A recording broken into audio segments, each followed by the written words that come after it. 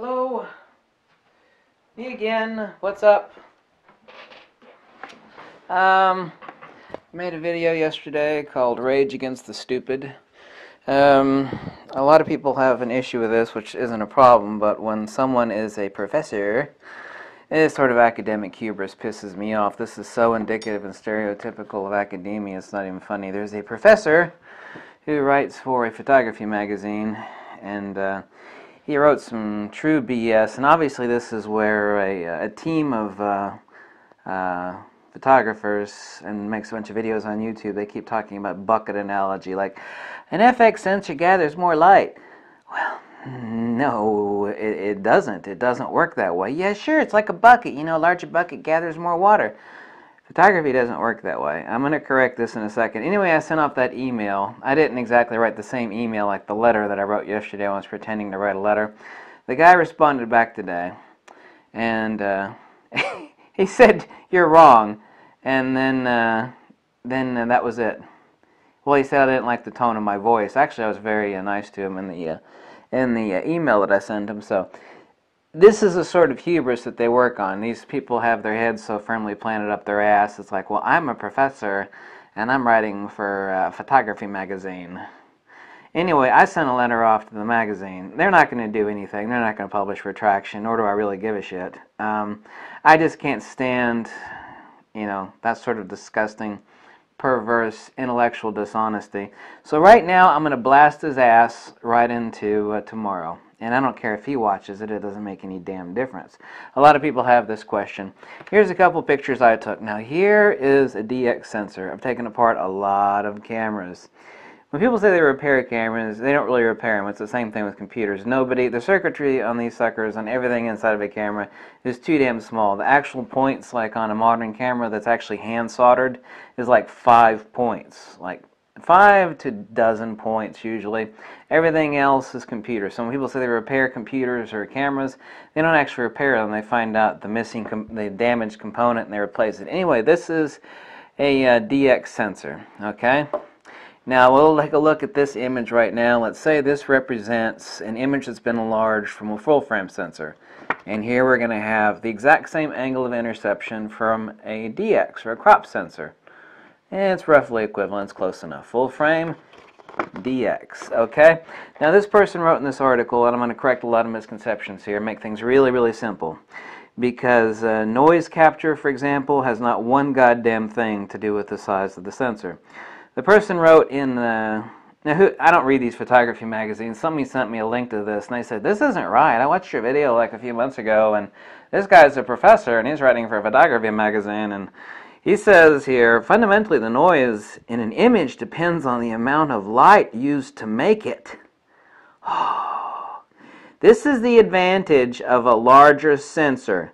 It can gather more light and form a less noisy image. Let's examine that. That's not true. That's total bullshit. See, it's not the noise. No, the noise in, you know, in an image doesn't depend on the size of the sensor. It doesn't work that way, and I'll tell you why. Full frame, crop sensor. Full frame, crop sensor. The only thing is angle of interception.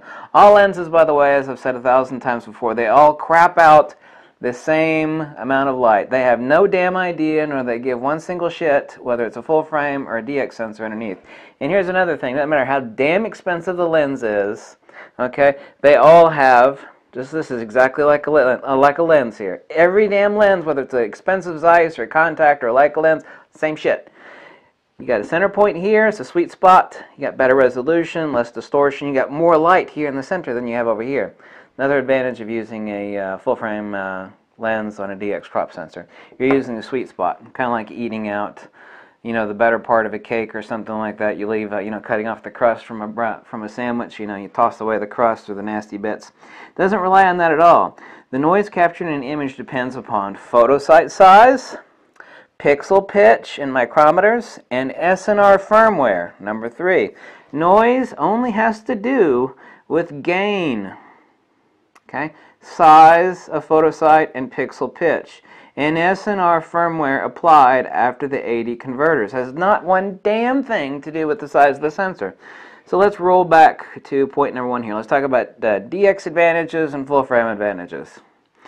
Um, DX sensor superiority means that there's more translational data per square millimeter than a full frame, given the pixel pitch. Now, also it is the case that uh, the DX uh, sensor uses the sweetest spot of FX lenses. Like a pixel pitch on the D7100 is 3.9 micrometers. On the D810, which you know is a 36 megapixel sensor, is uh, 4.8 micrometers. If you were to actually use the same pixel pitch on the D7100 and scale it up, it would be a 50, is it a 56? Yeah, 56 megapixel sensor. So use the exact same density, in other words, number of photo sites per square millimeter, per square centimeter, doesn't make it, you scale it up to full frame, it would be a 56 millimeter. Like the Canon 5DS, which just came out, it's a 51 megapixel full frame sensor. It has a pixel pitch basically halfway between a Nikon D810 and a Nikon D7100. It is 4.14 micrometers. Um, another basis, for example, like the Nikon D4S is 7.3 micrometers. Uh, they're huge. They're even bigger than the D810, but this is looking at a 16 megapixel sensor.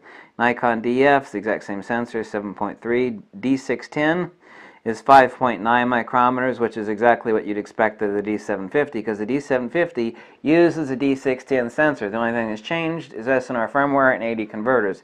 That's why the D750 performs a lot better in uh, low light due to SNR firmware, but it has the same sort of crappy, not so awesome color saturation as the D810 does. The D810, of course, you know, we're talking also about the anti-aliasing filter, but uh, the color saturation blows the balls off of the D750, for example. And same thing on the Nikon D5200 at 3.9 micrometers. See, this is also why bird shooters that are using a $20,000 lens are using a cheap, inexpensive DX camera because they crop the shit out of their pictures. Like, take a picture. This is a full frame uh, sensor. Excuse me, this is a DX sensor which they're using. The little birdie might be about that big. You have much higher pixel pitch, more translational data. Ta-da! Look at that. Took me a long time to make all those little stupid ass circles. You got more information, more translatable data per square millimeter on the DX sensor than you do the FX. Oh my god! That's why this professor that's writing for Photography Magazine is a retard. He's just flat out balls ass wrong. Okay. FX sensors have better dynamic range and a bit better gain, but due to the SNR firmware, this advantage has been nearly nulled out. That is the case. FX sensors also, for example, do not have to be enlarged as much in order to achieve the same print size as a DX sensor. Obviously, logically so. Simplex geometry. Duh. Um, FX photosites obviously have better low light gain capacity than do does of a DX photosite because they are larger. But this noise has a frequency. There's like a dozen or half a dozen different frequencies, and the SNR firmware, that's the signal to noise ratio firmware, um, has uh, made uh, FX and DX far, far, far closer than they ever used to be even a few years ago. That means the noise of these smaller photosites, which have less gain and perform not as awesome in ultra low light, that a lot of that has been nulled out. A lot of it. Um, that's why everything is going to uh, full frame sensors with DX pixel pitches. Um, this error, in fact, like from this uh, professor idiot, this uh, mental midget, this uh, Peckerwood, this uh, this uh, intellectual moron, this error, in fact, lies in the fact that a larger sensor image needs to be enlarged less to produce the same size 8 by 10 image, for example, than that from a DX sensor. Obviously so, a full frame sensors are larger than this, so it doesn't have to be enlarged as much to produce 8 by 10. But that doesn't imply that an FX sensor gathers more light, because it damn well doesn't. The luminal density shot from any lens, crapped out of any lens, is exactly the same. Here's an old 4x5 lens I picked up at an auction. It's made by Bausch & Lomb. It's all brass and wood, actually. Brass and wood and glass, of course. Um, this sort of insanity. I mean, it just it just it's perpetuated endlessly. Um, I lost my place. You had a luminal density shot from any lens is the same per square millimeter, regardless of the sensor underneath the lens. Um, let's go on to DX. DX uses the sweet spot of very fast lenses. And it's why it's really awesome. You got like a Fuji and you get an adapter to buy like an old fast lens. It's like, well, that lens isn't so good. Yeah, but where lens is shitty, is shitty uh, on the same place as shitty on the old lenses. That's in the corners and the far edges. So, like I said, every lens works the same. You got a sweet spot right here. You've got a great sharpness, less distortion, more light here in the center than you do off of the edges of the lens. All lenses are exactly like this. They all shoot out a center, higher density of illumination than does the corners. Vignetting, duh! Vignetting. So, DX sensors actually gather, this is important, record, gather and record more data per square millimeter of sensor. Same reason bird shooters use it. DX sensors gather the brightest part of any and all lenses, which resultantly means less vignetting from the same FX lens. Duh. DX center advantage. Even if two sensors have the same apparent noise when viewed at 100%, the sensor with the higher pixel count will produce a cleaner looking final print. This is because the noise gets enlarged less for the higher pixel count sensor. That means that D7100 at 24 megapixels and D750 at 24 megapixels. Both 24 megapixel cameras. Which one's gonna do better? Two sensors have the same apparent noise viewed at 100%. The sensor with a higher pixel count. Well, in this case, there aren't. There isn't. Both sensors have the exact same pixel, pixel count. There's more information per square millimeter. In this case, they're both 24 megapixels, but there's more information per square millimeter on the D7100 than there is at D750 given adequate exposure, we're not talking about low light crap and you shooting, you know, in some sort of uh, drug riddled alley and, you know, 3 o'clock in the morning taking, uh, you know, street photography shots in ultra low light. Given adequate exposures, the more pixels per square millimeter will have less noise when viewed at 100%, making the DX sensor superior. In fact, given ample illumination to both full frame and DX sensors, the DX sensors are gathering more light per square millimeter than an FX sensor.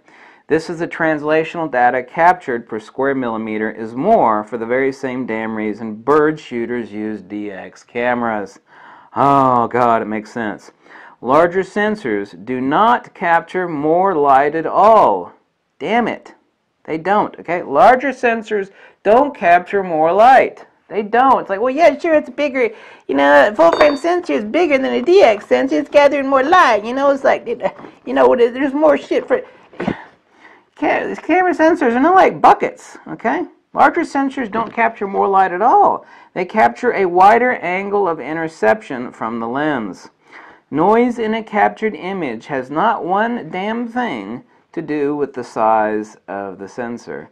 Not one damn thing. Noise only has to do with the size and the pixel pitch and the SNR firmware applied. Okay? You see the difference here? We've got advantages on both sides.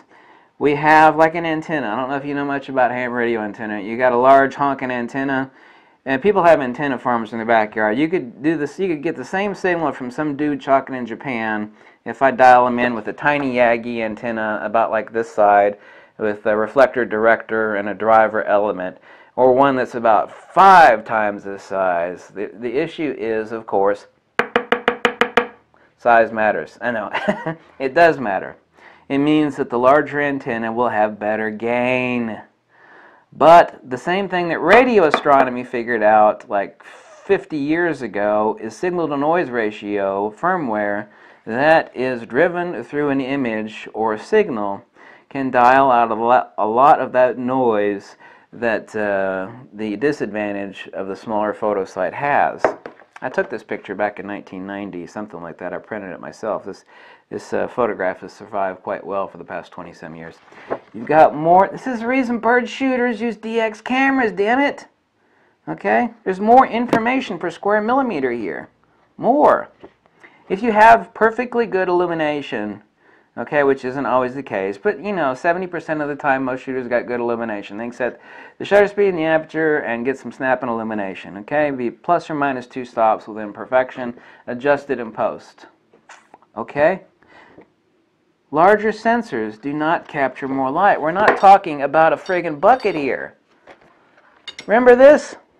DX sensors, technically, because they're capturing out the sweet image like of an FX lens, same FX lens and a DX camera or FX camera, a DX sensor actually is capturing more light, but we're not talking about square uh, area here, we're talking about luminal density because it's capturing out the sweet spot. Every lens is exactly like this. Bright in the center, falls off. Vignetting! DX sensors capture more light, so it's actually the inverse.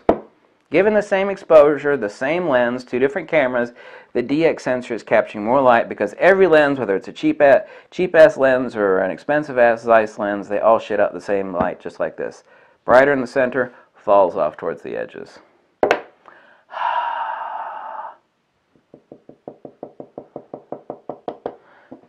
This guy's writing for Photography Magazine. But a lot of people don't understand this. But you're not writing for Photography Magazine. Well, I'm a professor.